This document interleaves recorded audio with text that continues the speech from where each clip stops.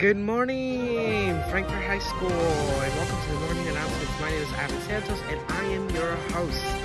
It is finally Friday, so make sure to stay motivated to do your homework. And if you haven't done your homework, well, do your homework this weekend. Anyways, we have a lot to talk about today, from NHS, school pictures, diplomas, and so much more. Class of 2021, it's time to order your diploma. The name that is listed in PowerSchool is the name that will appear on your diploma. If you need your diploma to reflect something different, you must bring in a copy of your birth certificate to Mrs. Rennick no later than November 6th. After this date, a fee may be assessed.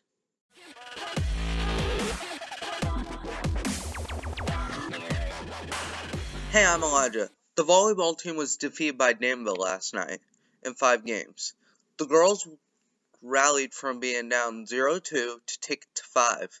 The girls will travel to Twin Lakes tomorrow for Invitational. The football team is traveling to North Montgomery tonight, with the JV football team hosting the Chargers this Saturday.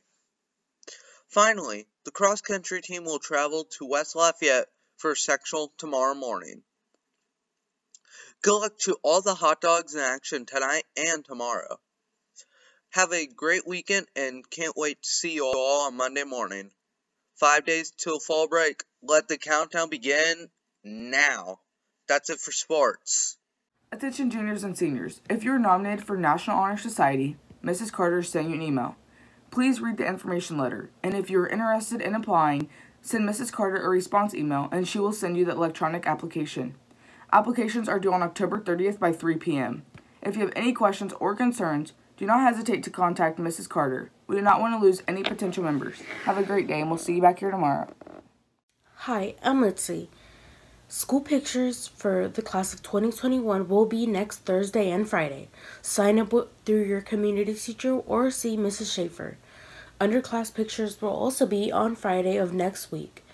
You can find more information in the chatter, including the link to order. Uh, hot dogs, that was a lot of information. Anyways, if you apply for Be the First to Finish Academy, um, you will get an email today to see if you got accepted or not. So make sure to check your email.